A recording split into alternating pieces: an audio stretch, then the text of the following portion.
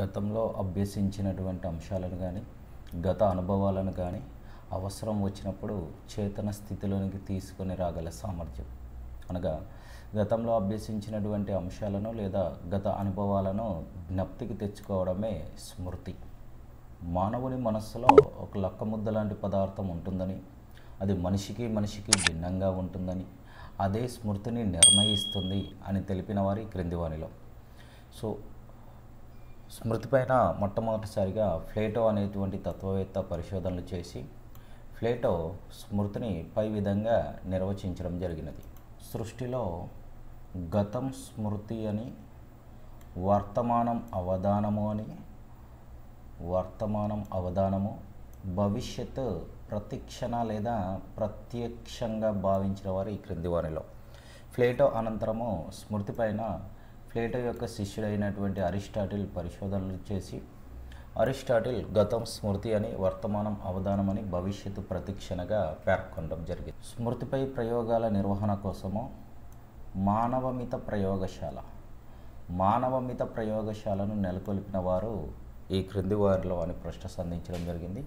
స్మృతిపై ప్రయోగాల నిర్వహణ కోసము స్మృతి అనగానే చాలామంది ఎబ్బింగ్ హాజ్ వద్దకు వెళ్ళిపోవడం జరుగుతుంది.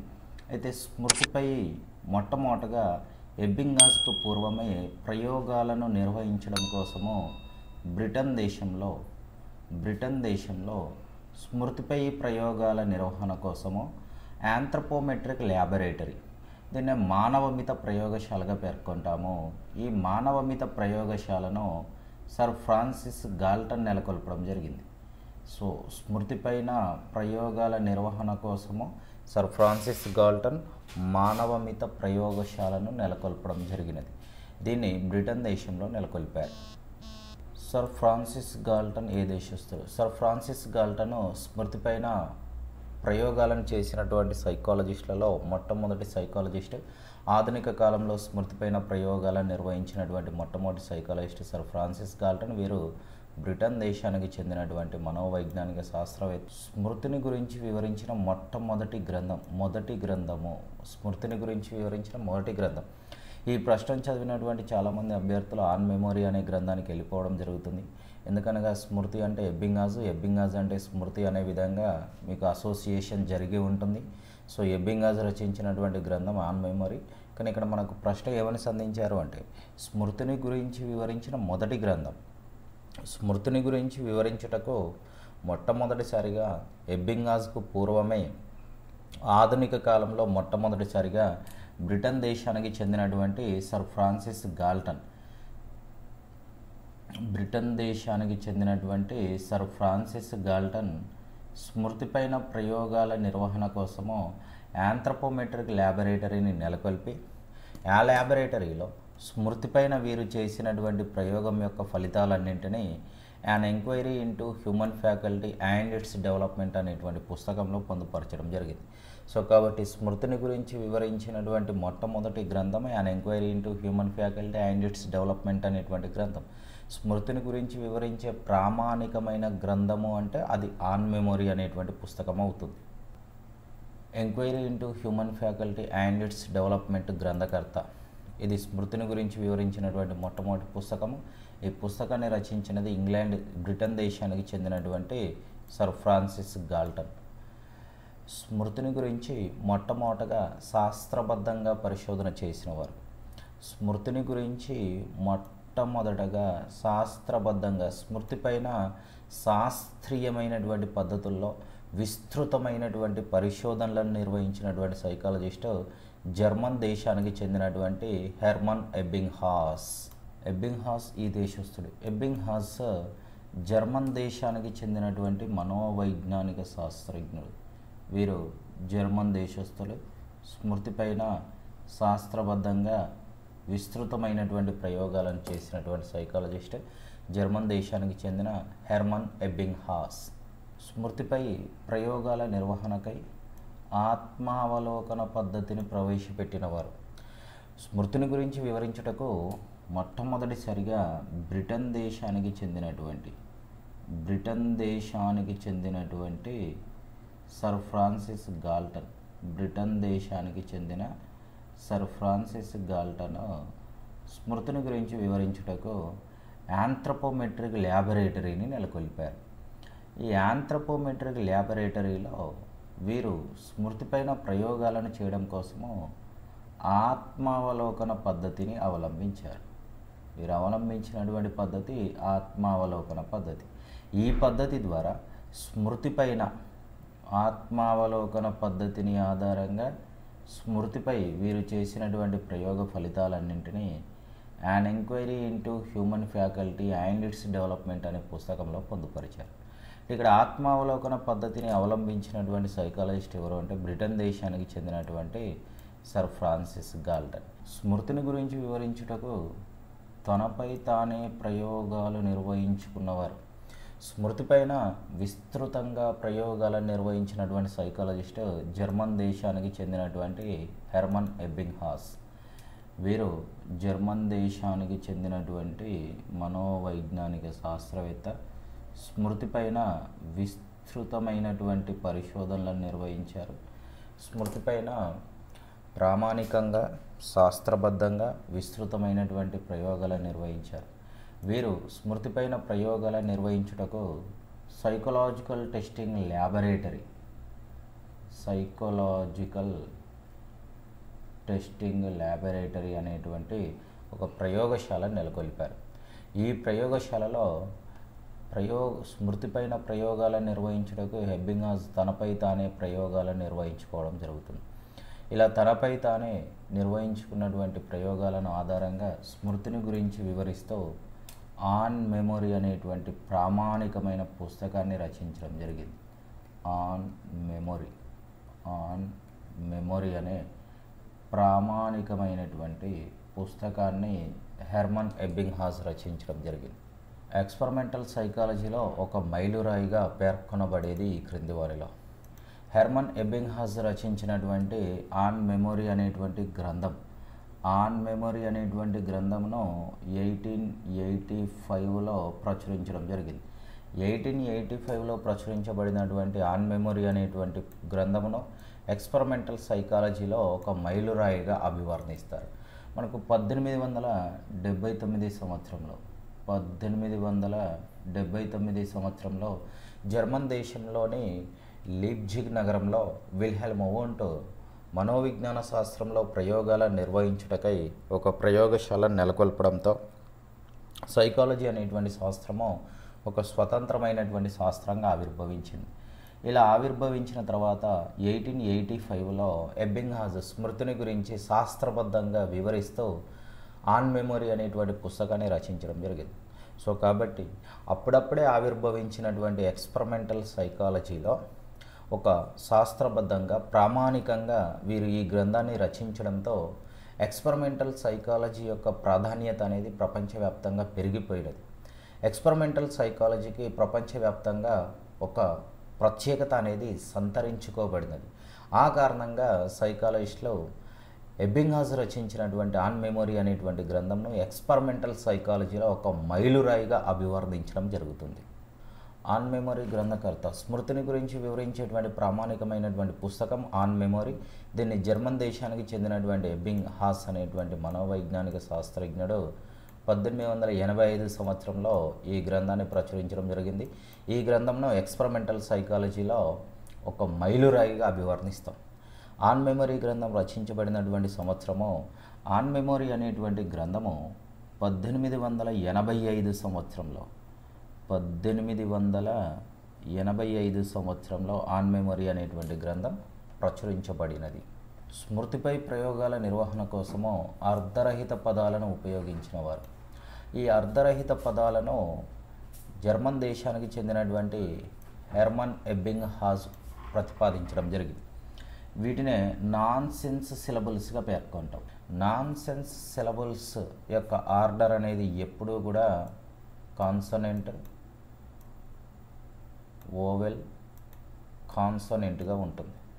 ఇవి అర్ధరహిత పదాలు. ఆన్ మెమొరీ గ్రంథంతో సంబంధం లేనిది.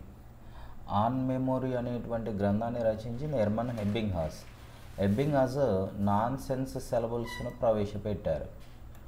ఎబ్బింగాజ్ పునరభ్యాసన పద్ధతి లేదా పొదుపు పద్ధతి లేదా రీలర్నింగ్ మెథడ్ను ప్రవేశపెట్టారు. ఎబ్బింగ్హాజ్ పొదుపు పద్ధతి దీన్నే రీలర్నింగ్ మెథడ్ దీన్నే సేవింగ్ మెథడ్ అంటారు. దీన్ని ప్రవేశపెట్టారు. దీన్ని ప్రతిపాదించారు. ఇక్కడ ఎబ్బింగ్ ఆన్ మెమోరీ అనే గ్రంథంతో సంబంధం లేనిది పునర్నిర్వచనము. రీడిఫైన్ అనేది ఆన్ మెమొరీ అనే గ్రంథంతో సంబంధం లేనిది. ఇక్కడ ఇచ్చినటువంటి ఆప్షన్స్లో. పునరభ్యాసన పద్ధతి రీలర్నింగ్ మెథడ్ లేదా సేవింగ్ మెథడ్ దీన్ని పొదుపు పద్ధతి అంటాం. దీన్ని జర్మన్ దేశానికి చెందినటువంటి హెర్మన్ ఎబ్బింగ్ హాస్ ప్రతిపాదించడం జరిగింది. హెర్మన్ ఎబ్బింగ్ హాస్ తాను నెలకొల్పినటువంటి సైకలాజికల్ టెస్టింగ్ ల్యాబొరేటరీలో స్మృతిని గురించి వివరించుటకు తనపై తానే ప్రయోగాలను నిర్వహించుకొని స్మృతిని గురించి వివరించుటకు అర్ధరహిత పదాలను ప్రవేశపెట్టి ఆ అర్ధరహిత పదాలను ఆధారంగా తనపై తాను నిర్వహించుకున్నటువంటి ప్రయోగాన్ని ఆధారంగా ఎబ్బింగాజ్ ధారణ వక్రరేఖను రూపొందించడం జరిగింది. దీన్ని మెమొరీ కరువుగా పేర్కొంటాం. ఈ ధారణ వక్రరేఖ యొక్క లక్షణాలు కూడా మనకి ఇంపార్టెంట్. వాటిని గురించి మనం తదుపరి ప్రశ్నలో పరిశీలిస్తాం. ధారణ వక్రరేఖను రూపొందించింది జర్మన్ దేశానికి చెందినటువంటి Hermann Ebbinghaus nonsense సెలబుల్స్తో సంబంధాన్ని కలిగి ఉన్నవారు. నాన్ సెన్స్ సెలబుల్స్ను ప్రవేశపెట్టిందే ఎర్మన్ ఎబ్బింగ్ సో అర్ధరహిత పదాలు లేదా నాన్ సెన్స్ సిలబుల్స్తో సంబంధాన్ని కలిగి ఉన్నవారు హెర్మన్ ఎబ్బింగ్ హాస్ వీరి ద్వారా ప్రభావితులైనారు. ఎబ్బింగ్హాస్ను ప్రభావితం చేసినటువంటి సైకాలజిస్ట్ ఫిక్నర్. ఫిక్నర్ గారిని ఫాదర్ ఆఫ్ ఫిజికల్ సైకాలజీగా పేర్కొనడం జరుగుతుంది. ఫిక్నర్ గారి ద్వారా ఎబ్బింగ్హాస్ ప్రభావితం కావడం జరిగింది. మెమరీ కర్వ్ ధారణ వక్రరేఖ. ధారణ వక్రరేఖను రూపొందించింది జర్మన్ దేశానికి చెందినటువంటి ఎర్మన్ ఎబ్బింగ్ హాస్ ధారణ వక్రరేఖను రూపొందించడం జరిగింది. మునుపు నేర్చుకున్న విషయాలను అలాగే జ్ఞప్తికి తెచ్చుకోవడాన్ని స్మృతి అంటారు అని నిర్వచించినది. ఇక్కడ మునుపు అంటున్నాం. మునుపు మునుపును మనము మునుపు అంటే గతము అనేటువంటి అర్థం వస్తుంది. గతమును ఆంగ్ల పరిభాషలో పాస్ట్ అంటాము. ఇక్కడ పాస్ట్తో మనకు ఎవరి యొక్క పేరు ఉచ్చరించబడుతుంది అంటే పాస్ట్ పాస్ట్ అంటే stout past stout past stout yes ఇలా మీరు అసోసియేట్ చేసుకున్నట్లయితే ఇది సింపుల్గా ఉంటుంది. ఇక్కడ గతం గతం అంటే పాస్ట్ పాస్ట్ అంటే స్టౌట్ పాస్ట్ స్టౌట్ సో మునుపు నేర్చుకున్న విషయాలను అలాగే జ్ఞప్తికి తెచ్చుకోవడంను స్మృతి అంటారు అని నిర్వచించినది స్టౌట్ అనేటువంటి సైకాలజిస్ట్ గత అనుభవాలను మెదడులో స్థిరీకరించుకొని మనకు అవసరమైనప్పుడు వాటిని చేతనంలోనికి తీసుకొని రాగలిగిన శక్తిని స్మృతి అంటారు అని నిర్వచించింది. ఇక్కడ మనకి ఈ నిర్వచనంలో మనం మెదడు అనేటువంటి పదాన్ని ఇక్కడ ముఖ్యంగా గమనిస్తూ ఉన్నాం. మెదడు. సో ఇక్కడ నిర్వచనంను మనం సింపుల్గా గుర్తుపెట్టుకోవాలి. నిర్వచనాలను ఉన్నది ఉన్నట్టుగా నేర్చుకోవాల్సిన అవసరం లేదు. మనం పరీక్షలో నిర్వచనాన్ని రాయము ఎగ్జామినర్ ఇచ్చినటువంటి నాలుగు నిర్వచనాల్లో ఏది సరైన నిర్వచనమో దాన్ని గుర్తిస్తాము గుర్తించే విధంగానే నిర్వచనాలను చదువుకోవాలి. మెదడు అంటున్నాము. మెదడును ఆంగ్ల పరిభాషలో బ్రెయిన్ అని అంటాం. మెదడును ఆంగ్ల పరిభాషలో బ్రెయిన్ అంటాము. ఇక్కడ బ్రెయిన్ బ్రెయిన్ బ్రెయిన్. సో ఈ బ్రెయిన్ ఉచ్చారణతో ఎవరి పేరు సరిపోతుందో మనం పరిశీలించినట్లయితే బ్రెయిన్ బ్రెయిన్ అంటే రైబార్న్. బ్రెయిన్ రైబార్న్ బ్రెయిన్ రైబార్న్ సో ఇక్కడ ఈ నిర్వచనం ఇచ్చినటువంటి సైకాలజిస్ట్ రైబార్న్ అనేటువంటి సైకాలజిస్ట్ సో సింపుల్గా అసోసియేషన్ ద్వారా వీటిని గుర్తుపెట్టుకోవాలి. ఈ క్రింది వానిలో స్మృతి స్వభావం కానిది. స్మృతి లక్షణం కానిది అని ప్రశ్న సంధించాడు. స్మృతి అనేది ఒక ప్రక్రియ. ఎస్ స్మృతి అన్నది ఒక ప్రక్రియే. స్మృతి అనేది ఒక ఉత్పన్నం. ఎస్ స్మృతి అన్నది ఒక ఉత్పన్నము. స్మృతి ఒక మానసిక ప్రక్రియ. అవును స్మృతి అన్నది ఒక మానసిక ప్రక్రియే. స్మృతిలో వైయక్తిక భేదాలు ఉండవు. ఏ ఇద్దరు వ్యక్తుల యొక్క స్మృతి అనేది ఒకే విధంగా ఉండదు. ఇద్దరు వ్యక్తుల స్మృతుల మధ్య స్పష్టమైన భేదాన్ని మనం గమనించవచ్చు. అంటే స్మృతిలో వ్యక్తుల మధ్య వైయక్తిక భేదాలు అనేవి ఉంటాయి. కానీ ఇక్కడ ఉండవు అనే ఆప్షన్ ఇచ్చాడు. ప్రశ్న స్మృతి స్వభావం కానిది అన్నాడు సో కాబట్టి ఇది స్మృతి స్వభావం కాదు. అభ్యసించిన దానిని తిరిగి చేయగల సామర్థ్యం స్మృతి అని నిర్వచించిన వారు ఇక్కడ ఈ నిర్వచనంలో తిరిగి చేయగల అంటున్నాం. తిరిగి చేయగల తిరిగి చేయగల. ఇక్కడ మీరు గమనించినట్లయితే మనం టీవీలు చూసేటువంటి సమయంలో మనకు న్యూస్ అనేది రావడం జరుగుతుంది. న్యూస్ వస్తుంది. ఆ న్యూస్ అనేది ఏ విధంగా వస్తుంది అంటే స్క్రోలింగ్ రూపంలో వస్తుంది. న్యూస్ అనేది స్క్రోలింగ్ రూపంలో వస్తుంది. స్క్రోలింగ్. స్క్రోలింగ్ అంటే ఏంటి? తిరిగి తిరిగి రావటం. స్క్రోలింగ్ అంటే మళ్ళీ మళ్ళీ వస్తుంది. ఆ న్యూస్ ఇన్ఫర్మేషన్ ఏదైతే ఉందో మనకు అది స్క్రోలింగ్ రూపంలో మళ్ళీ మళ్ళీ వస్తుంది. ఇక్కడ స్క్రోలింగ్తో ఎవరి ఏ సైకాలజిస్ట్ యొక్క నేమ్ ఉచ్చరించబడుతుందో మనం పరిశీలిస్తే ఎస్ ఇక్కడ స్కోల్బర్గ్ అంటున్నాం. ఎస్ అభ్యసించిన దానిని తిరిగి చేయగల సామర్థ్యమే స్మృతి అని నిర్వచించిన వారు వుడ్వర్త్ మరియు స్కోల్బర్గ్ అనేటువంటి సైకాలజిస్టులు. స్మృతి ప్రక్రియలోని మొదటి దశ అనేది ఇక్కడ మనకు సంధించినటువంటి ప్రశ్న. స్మృతి ప్రక్రియలో మనకు ప్రధానంగా మూడు దశలు ఉంటాయి. మొదటి దశలో ఏమవుతుంది అంటే ఏదేని ఒక ఉద్దీపన ఏదేని ఒక ఉద్దీపన అనేది మెదడు పైన ముద్రించబడుతుంది. అది మొదటి దశ. ఏదేని ఒక ఉద్దీపన మెదడు పైన ముద్రించబడడం అనేది మొదటి దశ. ఆ ఉద్దీపన ద్వారా వ్యక్తి యొక్క నాడీ వ్యవస్థలో మార్పులు అనేవి సంభవిస్తాయి. అది రెండవ దశ. నాడీ వ్యవస్థలో సంభవించినటువంటి మార్పులు వ్యక్తి యొక్క ప్రవర్తనలో మార్పుకు కారణమవుతాయి. అది మూడవ దశ. సో కాబట్టి ఇక్కడ మనకు ప్రశ్న ఏమడిగాడు? అడిగాడు స్మృతి ప్రక్రియలోని మొదటి దశ ఏంటి అంటే ఒక ఉద్దీపన మెదడుపై ముద్రింపబడటము అనేది మొదటి దశ. నెక్స్ట్ అదే క్వశ్చన్ అడుగుతున్నాడు ఇక్కడ మనకు. స్మృతి ప్రక్రియలో గల దశల సంఖ్య ఎంత? స్మృతి ప్రక్రియలో మొత్తంగా మూడు దశలు కలవు మొదటి దశ ఏంటి అంటే ఒక ఉద్దీపన మెదడుపైన ముద్రించబడుతుంది. రెండవ దశ ఆ మెదడుపైన ముద్రించబడిన ఉద్దీపన ద్వారా వ్యక్తి నాడీ వ్యవస్థలో మార్పులు సంభవిస్తాయి. మూడవ దశ నాడీ వ్యవస్థలో సంభవించినటువంటి మార్పులు వ్యక్తి యొక్క ప్రవర్తనలోని మార్పుకు కారణమవుతాయి. ఇవి స్మృతి ప్రక్రియలో ఉన్నటువంటి దశలు. నాడీ వ్యవస్థలో సంభవించే మార్పులు స్మృతి ప్రక్రియలోని ఈ దశకు చెందినవి. నాడీ వ్యవస్థలో సంభవించే మార్పులు స్మృతి ప్రక్రియలో రెండవ దశకు చెందుతాయి.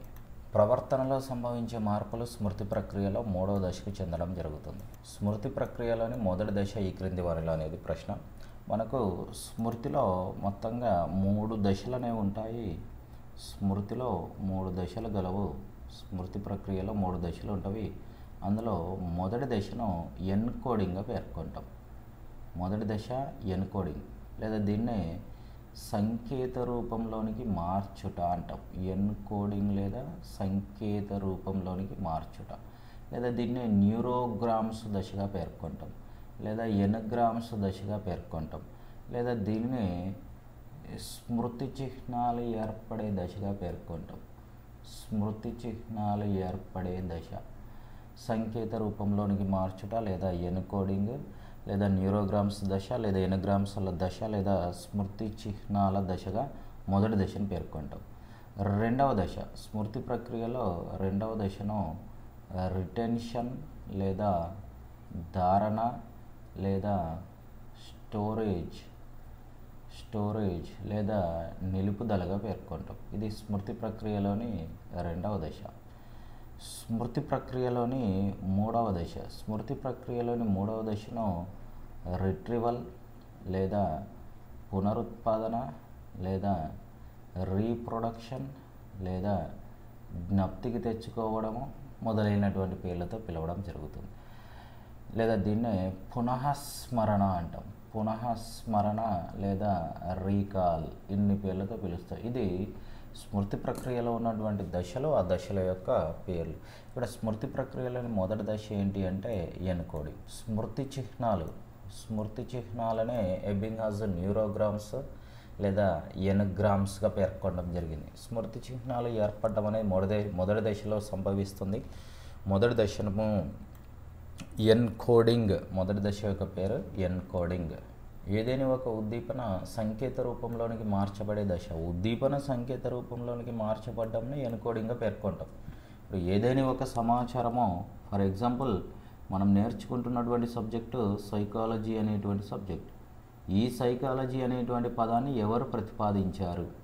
సైకాలజీ అనేటువంటి పదాన్ని మొట్టమొదటగా రూడాల్ఫ్ గోయకల్ అనేటువంటి సైకాలజిస్ట్ ప్రతిపాదించారు. ఇప్పుడు ఇది ఒక నూతన సమాచారం మీకు తెలియనటువంటి సమాచారం. ఇప్పుడు ఈ నూతన సమాచారము ఇదే విధంగా మన మెదడుపైన ముద్రించబడదు.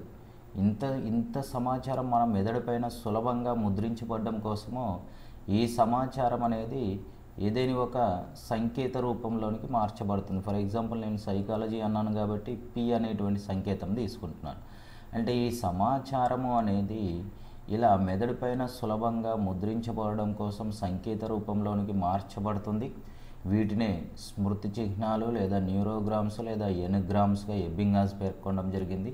సో ఇలా ఏదేని ఒక ఉద్దీపన సంకేత రూపంలోనికి మార్చబడే ప్రక్రియనే మనం ఎన్కోడింగ్గా పేర్కొంటాం.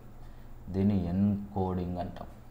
ఈ సంకేతాలకు ఎబ్బింగాస్ న్యూరోగ్రామ్స్ లేదా ఎన్గ్రామ్స్ లేదా స్మృతి చిహ్నాలు అని పేరు పెట్టడం జరిగింది. ఇది మొదటి దశ స్మృతి ప్రక్రియలోని మొదటి దశ. స్మృతి ప్రక్రియలో ఏదేని ఒక ఉద్దీపన ఏదేని ఒక ఉద్దీపన సంకేత రూపంలోనికి మార్చబడే ప్రక్రియ ఎన్కోడింగ్. సంకేత రూపంలోనికి మార్చబడే ప్రక్రియ ఎన్కోడింగ్.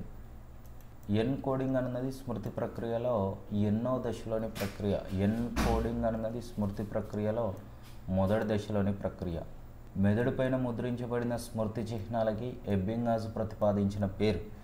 మెదడుపైన ముద్రించబడేటువంటి స్మృతి చిహ్నాలకి ఎబ్బింగాజ్ న్యూరోగ్రామ్స్ అని పేరు పెట్టాడు.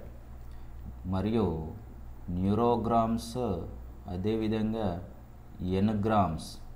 న్యూరోగ్రామ్స్ ఎన్గ్రామ్స్ అదేవిధంగా స్మృతి చిహ్నాలు స్మృతి చిహ్నాలు అని పేరు పెట్టడం జరిగింది. న్యూరోగ్రామ్స్ ఎన్గ్రామ్స్ స్మృతి చిహ్నాలు అని పేరు పెట్టడం జరిగింది. మెదడుపై ముద్రించబడిన సంకేతం. మెదడుపై ముద్రించబడే సంకేతాలకి ఎబింగాజ్ స్మృతి చిహ్నము న్యూరోగ్రామ్స్ ఎన్గ్రామ్స్ అని పేరు పెట్టడం జరిగింది. అంటే ఈ ప్రశ్నకు పైవన్నీ అనేది సమాధానం అవుతుంది స్మృతి ప్రక్రియలో న్యూరోగ్రామ్స్ ఈ దశలో ఏర్పడతాయి. న్యూరోగ్రామ్స్ అనేవి మొదటి దశలో ఏర్పడతాయి.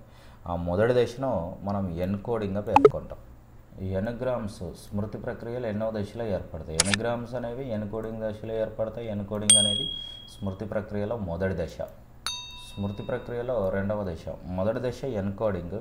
రెండవ దశ రిటెన్షన్ లేదా ధారణ లేదా స్టోరేజ్ లేదా నిలుపుదల. దీన్నే స్టోరేజ్ అని అంటాం. దీన్నే నిలుపుదల అని అంటాం. ఇది రిటెన్షన్ లేదా ధారణ అన్నది స్మృతి ప్రక్రియలో రెండవ సోపానం లేదా రెండవ దశ. స్మృతి ప్రక్రియలోని మొదటి దశ ఎన్కోడింగ్. స్మృతి ప్రక్రియలో మొదటి దశ ఎన్కోడింగ్. పునరుత్పత్తి రీప్రొడక్షన్ అంటే రీకాల్ పునఃస్మరణ జ్ఞప్తికి తెచ్చుకోవడం అన్నది స్మృతి ప్రక్రియలో ఈ దశకు చెందును. మొట్టమొదటగా స్మృతి ప్రక్రియలో మనకు మూడు దశలు గలవు. మొదటి దశ ఎన్కోడింగ్ రెండవ దశ రిటెన్షన్ లేదా ధారణ మూడవ దశ రిట్రీవల్ లేదా జ్ఞప్తికి తెచ్చుకోవడం లేదా పునరుత్పాదన. అంటే పునరుత్పాదన లేదా పునరుత్పత్తి లేదా రీప్రొడక్షన్ అన్నది స్మృతి ప్రక్రియ ఏ దశకు చెందును అంటే మూడవ దశ. మూడవ దశ పేరు ఏంటి అంటే రిట్రీవల్. రిట్రీవల్ దశకు చెందును. దీన్ని జ్ఞప్తికి తెచ్చుకోవడము అంటాం. స్మృతి ప్రక్రియలో రెండవ దశ. రిటెన్షన్ నిలుపుదల స్టోరేజ్ రిటెన్షన్ ధారణ స్టోరేజ్ నిలుపుదల. అంటే ఈ ప్రశ్నకు సమాధానం ఏమవుతుంది అంటే ఫోర్త్ వన్ అనేది సమాధానం అవుతుంది. ఎనుగ్రామ్స్ ఏర్పడడం అనేది ఎన్కోడింగ్ అనేటువంటి దశలో ఉంటుంది. ఎనుగ్రామ్స్ కొంతకాలం పాటు మెదడులో నిలువ ఉండే దశ. నిలువ ఉండే దశ అంటే నిలుపుదల. నిలుపుదల అంటే స్టోరేజ్. స్టోరేజ్ అంటే రిటెన్షన్. స్టోరేజ్ అంటే రిటెన్షన్. అంటే ఎనగ్రామ్స్ కొంతకాలం పాటు మెదడులో నిల్వ ఉండే దశ ఏంటి అంటే రిటెన్షన్ లేదా దీన్నే ధారణ అంటాం లేదా దీన్నే నిలుపుదల అంటాం లేదా దీన్నే స్టోరేజ్ అని అంటాం. ఇది ఈ దశ. దీనిలో లోపం ద్వారా మిథ్యా విస్మృతి సంభవిస్తుంది. మిథ్యా విస్మృతి అంటే ఒక సంఘటనను అది జరిగినది జరిగినట్టుగా గుర్తుంచుకోకుండా కొంచెం భిన్నంగా గుర్తుంచుకోవడం అంటే జరిగిన విషయాన్ని జరిగినట్టుగా గుర్తుకు తెచ్చుకోలేకపోవడంని మిథ్యా విస్మృతి లేదా ఫాల్స్ మెమొరీగా పేర్కొంటాం. అనగా ఇక్కడ నేను సైకాలజీ అనేటువంటి పదమును సైకాలజీ అనేటువంటి పదమును రూడాల్ఫ్ గోయకల్ రూడాల్ఫ్ గోయకల్ ప్రతిపాదించారు అనేటువంటి విషయాన్ని మీకు వివరిస్తూ ఉన్నాను. ఇప్పుడు నేను ఈ విషయాన్ని వివరించేటువంటి సందర్భంలో మీరు సరిగా వినడం లేదు. సరిగా విననట్లయితే సైకాలజీ అనేటువంటి పదాన్ని రూడాల్ఫ్ గోయకలు ప్రతిపాదించారు అనేటువంటి సమాచారం అనేది కంప్లీట్గా సంకేత రూపంలోనికి మార్చబడదు. ఈ సమాచారము కంప్లీట్గా సంకేత రూపంలోనికి మార్చబడదు. సంకేత రూపంలోనికి మార్చబడ్డాన్ని ఏమంటాం మనము? ఎన్కోడింగ్ అని అంటాం. అంటే నేను సైకాలజీ అనేటువంటి పదాన్ని రుడాల్ఫ్ గోయకలు ప్రతిపాదించారు అనేటువంటి విషయము మీలో ఎన్కోడింగ్కు గురి కానట్లయితే అంటే ఎన్కోడింగ్ అన్నది మీలో జరగనట్లయితే అంటే మీరు సరిగా దీన్ని వినడం లేదు ఏకాగ్రతను మీరు కనబరచడం లేదు ఏదో మొక్కుబడిగా ఈ విషయాన్ని మీరు కేవలం చెవులతో మాత్రమే విని వదిలేశారు. మరో సైకాలజీ ఫ్యాకల్టీ మీకు సైకాలజీ అనే పదాన్ని ఎవరు ప్రతిపాదించారు అని క్వశ్చన్ చేయగానే మీరు ఇప్పుడు ఇక్కడ సక వినలేదు సరిగా వినలేదు ఏకాగ్రతను కనబరచలేదు కాబట్టి మీరు రూతర్ఫార్డ్ అని సమాధానం చేస్తూ ఉన్నారు. ఇక దీన్ని మనం ఫాల్స్ మెమరీ లేదా మిథ్యా విస్మృతిగా పేర్కొంటాం. అంటే మీలో విద్యా మిథ్యా విస్మృతి సంభవించడానికి గల కారణం ఏంటి అంటే మీలో ఎన్కోడింగ్ అనేది జరగలేదు. అంటే ఎన్కోడింగ్లో లోపాలు సంభవించినట్లయితే ఎన్కోడింగ్లో లోపాలు సంభవించినట్లయితే మిథ్యా విస్మృతి జనించుటకు అవకాశం ఉంటుంది. సో దీనిలో లోపం ద్వారా మిథ్యా విస్మృతి సంభవిస్తుంది అంటే ఎన్కోడింగ్లో లోపం ద్వారా మిథ్యా విస్మృతి సంభవిస్తుంది. రిట్రివల్ స్మృతి నిర్మాణంలో ఎన్నో దశకు చెందినది. రిట్ రిట్రివల్ అంటే విషయాన్ని జ్ఞప్తికి తెచ్చుకోవడం. స్మృతి నిర్మాణంలో మొత్తంగా మూడు దశలు కలవు మొదటి దశలో ఏదైనా ఒక సమాచారం సంకేత రూపంలోనికి మార్చబడుతుంది. రెండవ దశలో ఆ సమాచారం అనేది మెదడులో కొద్ది కాలం పాటు నిల్వ చేయబడుతుంది. మూడవ దశలో ఏమవుతుంది అంటే ఆ సమాచారము గుర్తుకు తెచ్చుకోబడుతుంది. దాన్ని గుర్తుకు తెచ్చుకోవడంని రిట్రివల్ లేదా పునరుత్పాదన లేదా పునఃస్మరణ లేదా జ్ఞప్తికి తెచ్చుకోవటము మొదలైన పేర్లతో పిలుస్తాము. రిట్రివల్ స్మృతి నిర్మాణంలో ఎన్నవ దశకు చెందినది అంటే మూడవ దశకు చెందినటువంటి అంశం. సంకేత రూపంలో భద్రపరిచిన ఎనగ్రామ్స్లోని సమాచారము తిరిగి అసలు రూపంలోనికి పునరుత్పత్తి చేయడాన్ని ఏమంటారు? ఇక్కడ ఏదేని ఒక సమాచారం? ఫర్ ఎగ్జాంపుల్ సైకాలజీ అనేటువంటి పదాన్ని సైకాలజీ అనేటువంటి పదాన్ని రూడాల్ఫ్ గోయకలు ప్రతిపాదించారు. ఇది సమాచారం.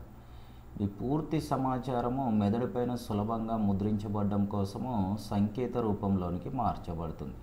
ఇలా సంకేత రూపంలోనికి మార్చబడేటువంటి ప్రక్రియను ఎన్ కోడింగ్గా పేర్కొంటాం. ఎన్ కోడింగ్గా పేర్కొంటాం.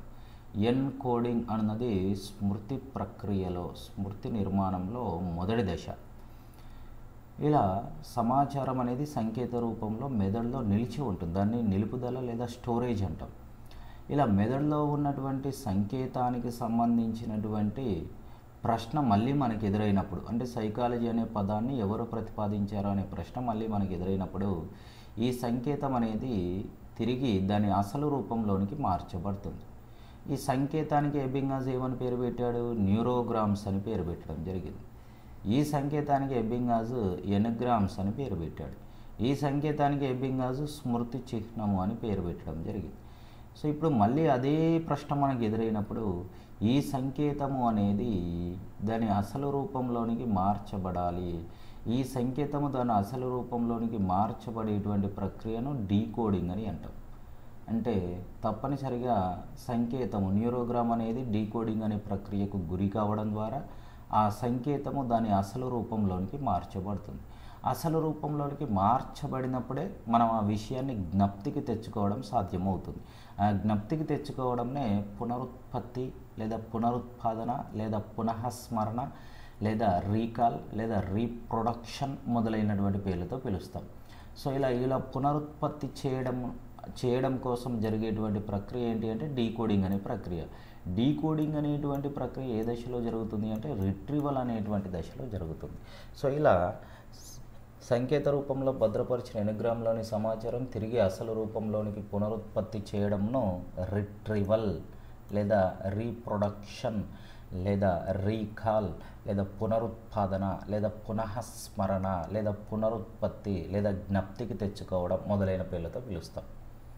నిలుపుదల అంటే స్మృతి నిర్మాణంలోని రెండవ దశ. దీన్నే రిటెన్షన్ అని అంటాం. నిలుపుదలతో సంబంధాన్ని కలిగి ఉన్నది రిటెన్షన్ లేదా ధారణ. రిటెన్షన్ లేదా ధారణ నిలుపుదలతో సంబంధాన్ని కలిగి ఉన్నది. డీకోడింగ్ డీకోడింగ్ స్మృతి నిర్మాణంలో ఏ దశలోని ప్రక్రియ? డీకోడింగ్ అండ్ డీకోడింగ్ ద్వారానే ఏదైనా ఒక ఎనగ్రామ్లో ఉన్నటువంటి ఎనగ్రామ్స్ రూపంలో ఉన్నటువంటి సంకేతము సమాచార రూపంలోనికి మార్చబడుతుంది. ఆ సమాచార రూపంలోనికి మార్చబడినప్పుడే ఆ విషయాన్ని మనం జ్ఞప్తికి తెచ్చుకోగలము. ఆ జ్ఞప్తికి తెచ్చుకోవడంని రిట్రివల్ అంటామంటే డీకోడింగ్ రిట్రివల్ అనేటువంటి మూడవ దశలో జరిగేటువంటి ప్రక్రియ.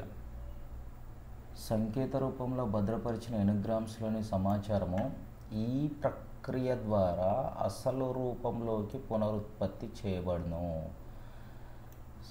ఎనుగ్రామ్స్లోని సమాచారము అసలు రూపంలోనికి పునరుత్పత్తి కాబడాలి అంటే తప్పనిసరిగా డీకోడింగ్ అనేటువంటి ప్రక్రియ జరగాలి. డీకోడింగ్ అనే ప్రక్రియ ద్వారా ఎన్గ్రామ్స్లోని సమాచారము అసలు రూపంలోనికి మార్చబడుతుంది.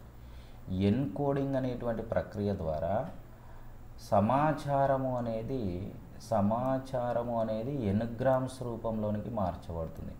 సమాచారం ఎన్గ్రామ్స్ రూపంలోనికి మార్చబడితే అది ఎన్కోడింగ్ అనేటువంటి ప్రక్రియ. అదే సంకేతము దాని అసలు రూపంలోనికి సమాచార రూపంలోనికి మార్చబడినట్లయితే అది డీకోడింగ్ అనే ప్రక్రియ.